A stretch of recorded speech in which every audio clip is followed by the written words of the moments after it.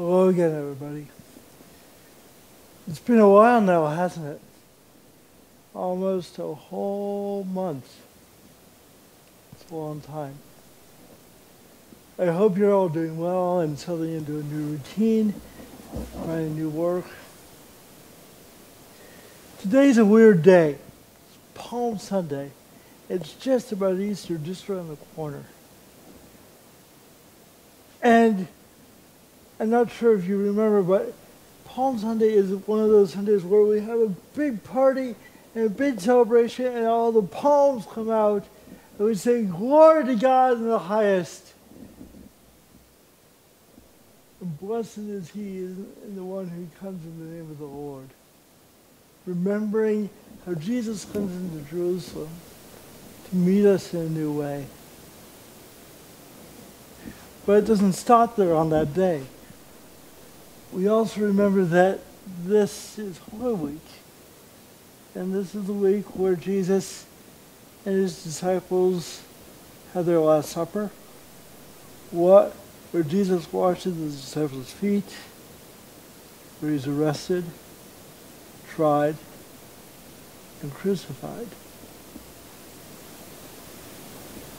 So even as we're having the big palm party, we know too that there's something really kind of dark and kind of weird going on too. I think we see this in our lives a lot. When I was a kid, and I'm guessing you get this a lot too, I heard a lot of, well, all that is fine and fun and good, but we just wait until you put somebody's eye out with that. Then that won't be fun at all. Now, rarely did that actually happen, and it's just one of those weird things that we adults say, but the point is always the same. It's all fine until something else happens. Because life is like that. There's good and there's bad all together. Just in this time where things have been challenging, really challenging and maybe even a little bit scary. But also, if you've been looking around and listening to your family, and to your friends, and to your neighbors, you've also seen some really cool stuff.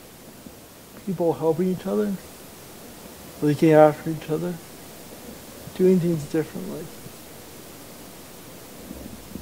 If we want to see God at work, we need to look at the both ends.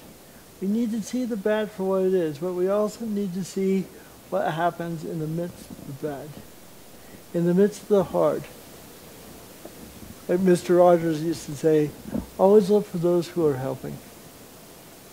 I like Mr. Rogers a lot. He's a hero of mine. Look for those who are helping. And even as we go through this week with Jesus, we can look towards the way that Jesus came and was true and trusted God in the middle of everything. And maybe, just maybe, we can trust God too. Let's pray. God of love, in good times and bad, remind us that you are near. Help us to hear your voice, to know your way, and to see the good in all things.